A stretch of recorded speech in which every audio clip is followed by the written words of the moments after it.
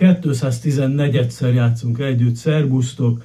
Aki most kapcsolódik be, voltak ilyenek, azok Hát nyilván nem úgy olvassák ezt, mint valamiféle Tolstoy regényt, a minden jelző és szó számít, és a történelem egészét gyűri magába, hanem olyan felületesen, és volt, aki azt mondta, hogy hát, baromi jók ezek, de hogy, hogy,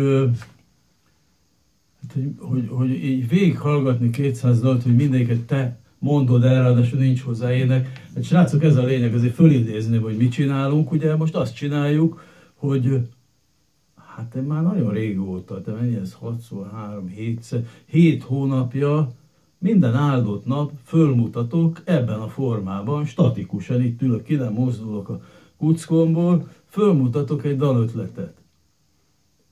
Ez most nem az a dolog, amikor az ember kitalál egy dalt, elmélyül benne, kitalálja hozzá a dallamot, a szerkezetet, behívja mondjuk a Kirchner Pétert, hogy legyen kedves producerként gondozni, kidolgozni és eljutatni egy koncertképes állapotba, ezek nem az én dalaim. Lehet, hogy lesz köztük, sőt, hát most már, már azért kiderültek dolgok, tehát például Bércesi Robival két nagy lemeznyi dalt nem kiválasztottuk, ő kiválasztott a napi dalokból. Van még egy pár olyan kollega, Monostori János, Polgár Péter, Svenk András, talán ugye Nagy Sanyi, de, de szóval em, akkor, akkor a Susú, Szili Péter, szóval velük valószínű, hogy, hogy koncertnyi vagy lemeznyi anyag készül. Egyáltalán biztos, hogy ezt én fogom énekelni, pláne nem mindegyiket. Jávori Fegyával rendszeresen dolgozunk, Darvas Ferenccel, hát még sok mindenkivel, és ugye már Kalákával is készült két szám, ki tudja, mivé fejlődik. Ezek csodálatos dimenziók, de hát nem arról van szó, hogy én ö, mit tudom én, így képzelem, hogy egy ilyen nagy előadásról elszavalok 214 verset, mert ott tartunk, hanem földobok játék témákat, és ebből csodák születtek, és csodák fognak születni remélhetően, mert minden csoda három napig tart, és most még csak a második napnak a felénél vagyunk. Ennek az a címe, hogy adtunk időt, 202-nek írtam, július 31-én, 96 BPM a tempója.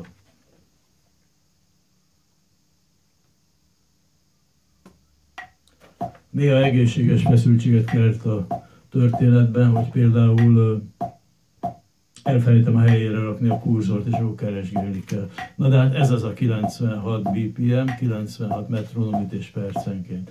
Adtunk időt. Jó utat írj majd rám pár év után, nem mintha a sorsunkat nem látnám.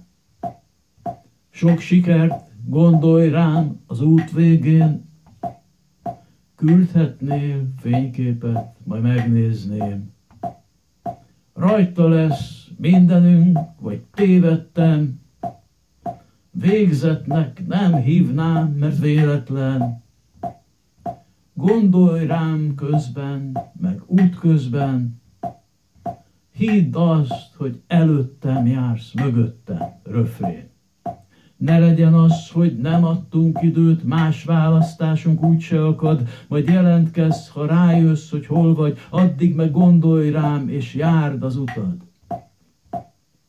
Járda vagy ösvény, ha rajta vagy, nézz körül, jegyezd meg a dolgokat, legyen mit mesélned, ha visszatérsz, a szíved megérdi, míg sír az ész. Jó, e, ezt most besűrítettem, mert a refrén tempóból vezettem le, de nem így van a verzéket, azokat, azokat nyugisabban, hézagosabban kész, képzelem, ahogy az elsőt mutattam, tehát így van.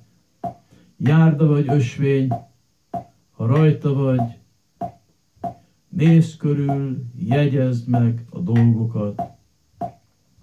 Legyen mit mesélned, ha visszatérsz, a szíved megérti, míg sír az ész.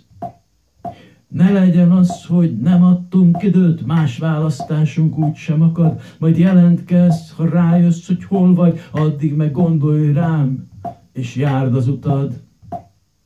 Ne legyen az, hogy nem adtunk időt, más választásunk úgy se akad, majd jelentkezz, ha rájössz, hogy hol vagy, addig meg gondolj rám, és járd az utad. El kellett menned, hát elmentél. Megbízom benned, csak egyszer majd legyél.